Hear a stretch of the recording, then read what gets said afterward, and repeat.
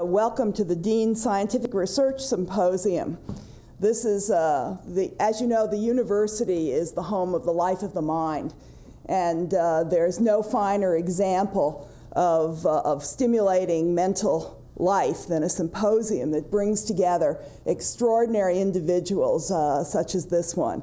I'm very proud of the program that uh, Chris Palczewski has put together, and I'm proud that we have such a wonderful mix of uh, speakers from outside the institution and speakers from within uh, our own institution. This should, be, uh, this should be an extraordinary day, and I commend those of you for arriving early to catch the whole thing. This is, uh, this is terrific. I've always had kind of a special place in my heart for pharmacology, not only because my own PhD is in, in pharmacology, but also because it's always seemed to me that this discipline was one that tried to discover the normal and abnormal processes of the cell in order to target them for therapeutic purposes.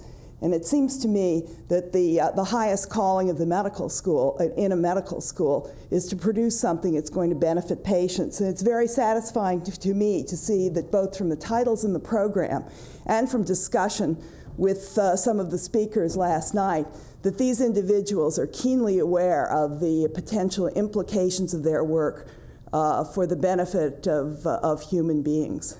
This should be a great day. I'm looking forward to it. I'm looking forward to the new ideas that it's going to spark in you. Not only the wonderful ideas that are going to be presented by our speakers today, but what they inspire you to do and think about and work on in your own laboratories. So have a wonderful day. I'd now like to turn the program over to Chris Palczewski, the chair of our Department of Pharmacology.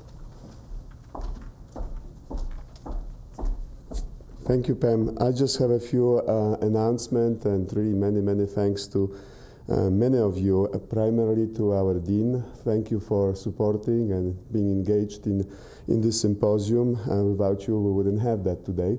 And the second really uh, important thing is to uh, thank Vida, I guess, because she put this all together with precision. So I, I'm really very grateful. Um, we have also Noah and uh, um, where are you over there? Uh, and also uh, Andreas Engel uh, for helping with putting this program together and uh, engage uh, our speakers to come and make this meeting successful. Um, finally, I would like to thank speakers who came from really a, a distance to join us today. And uh, hopefully this will be also a great experience for all of you uh, to attend and listen to your colleagues uh, with uh, really a fantastic science. So it is a really a day of uh, celebration for scientists uh, to see other doing so well.